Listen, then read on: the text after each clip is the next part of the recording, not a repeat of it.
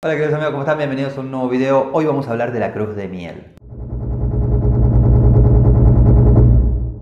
Este es un hechizo muy simple pero muy potente, el cual consta en justamente realizar una cruz con miel en la lengua para endulzar, para atraer el amor. Y puntualmente, ¿cuándo podés utilizar este hechizo sin afectar de forma negativa al otro? Es decir, sin tener consecuencias negativas porque no queremos afectar el libre albedrío ni la voluntad del otro. Pues bien, se recomienda usar uno cuando por ahí la relación de pareja está pasando por un mal momento, cuando por ahí hay discusiones en la relación, pero hay amor. Lo que pasa es que están pasando un mal momento, pues bien, en ese momento esta clase de hechizos lo que va a hacer es elevar la frecuencia del amor, endulzar la relación, que las palabras que decimos sean tomadas con dulzura y que justamente que nos escuchen. Y por supuesto también hay que estar abiertos a escuchar al otro para armonizar la relación. Ese sentido, con la intención de armonizar, va a ser ideal este hechizo.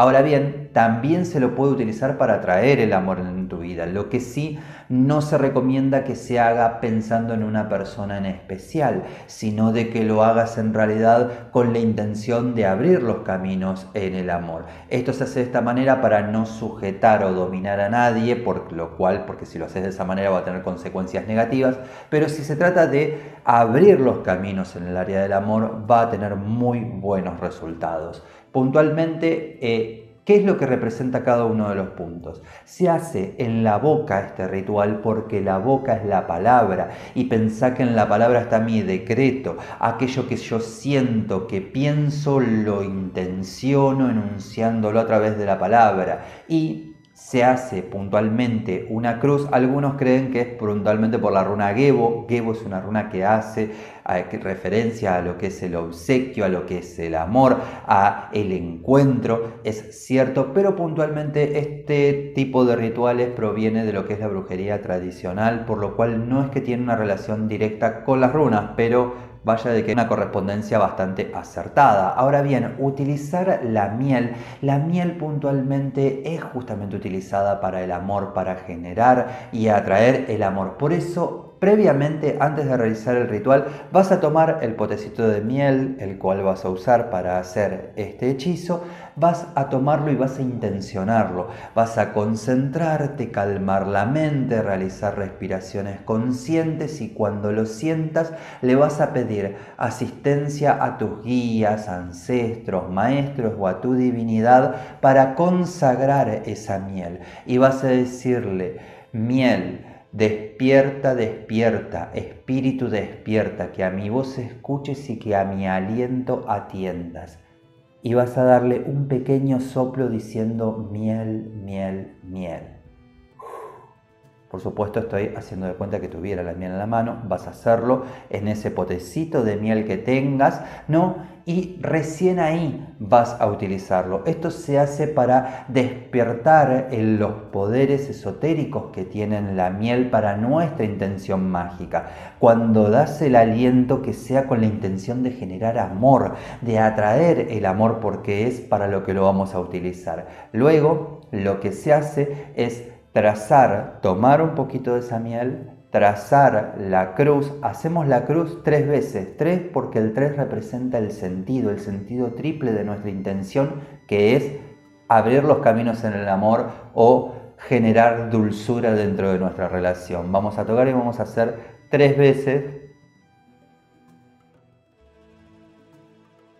la cruz en la lengua. Y vamos a decir en voz alta, pensemos de que luego de hacer la cruz, de intencionar la miel, lo que estamos haciendo es dando el decreto. Entonces cerramos nuestros ojos y decimos en voz alta, que el amor fluya, que el amor florezca y la dulzura y la pasión se manifieste. Dicho este decreto, podés mencionar tres veces el nombre de tu pareja si puntualmente hablábamos de una relación la cual queremos armonizar, o bien si no estás pensando por el que no estás en pareja y querés abrir los caminos del amor, pues bien, simplemente vamos a decir el amor llega, el amor llega, el amor llega. Y luego vamos a decir realizo este decreto pidiéndole asistencia a mis guías, a mis ancestros, a mis maestros, para que el amor se concrete en mi vida podemos, eh, de acuerdo con quién conectaste, es cómo lo vas a decir. Si no conectaste puntualmente con ningún maestro espiritual,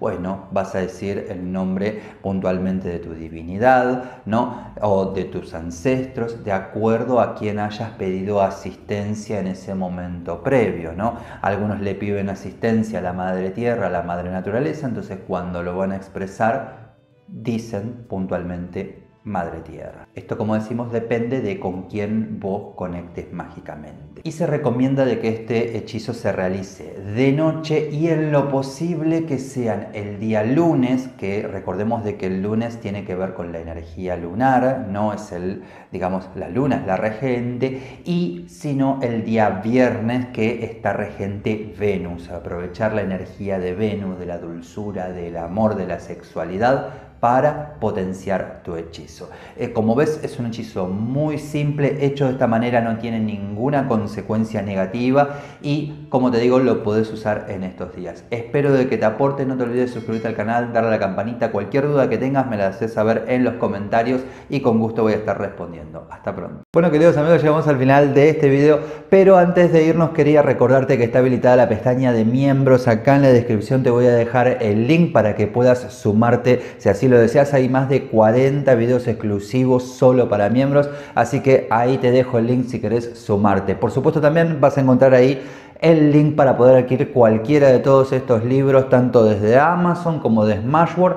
Y por supuesto, agradecerte por acompañar siempre al canal. No te olvides de suscribirte, darle a la campanita. Y acá te dejo otro video para que sigas disfrutando del mundo de las runas. Hasta pronto.